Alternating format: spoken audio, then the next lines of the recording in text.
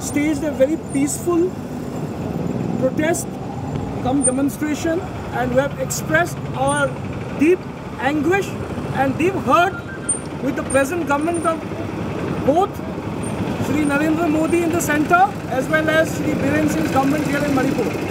In fact, after having, after the crisis has already crossed the five months mark and entering into the sixth month, nothing tangible seems to have been done so far in terms of maintaining peace and law and order. In fact, till today, the dead bodies of the two young children have not yet been recovered. In fact, there are intermittent firing still going on today at Imphal East District yesterday.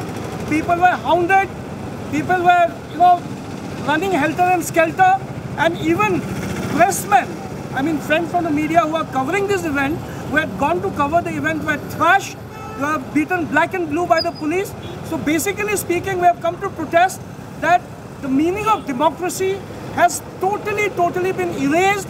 The democracy doesn't exist in our state at the moment. You know, the very fact that Prime Minister Narendra Modi goes to foreign countries, he recently visited the US, he recently visited France, he recently visited Turkey, where he espouses democracy and says that Bharat, that is India, is the mother of democracy. But in Manipur, we don't, we seem to see a total opposite of that. We have not had district council elections.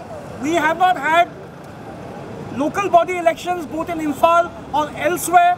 We keep hearing about local body elections in spite of the fact that COVID was, you know, uh, totally in uh, in the grips of COVID. Also, we've had local body elections in all over the country.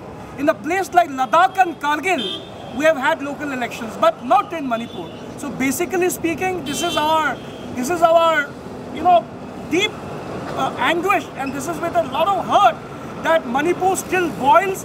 Manipur still is not peaceful, and this responsibility of having this thing to happen and let this bleeding to go on solely rests with the BJP government, both at the center and the state.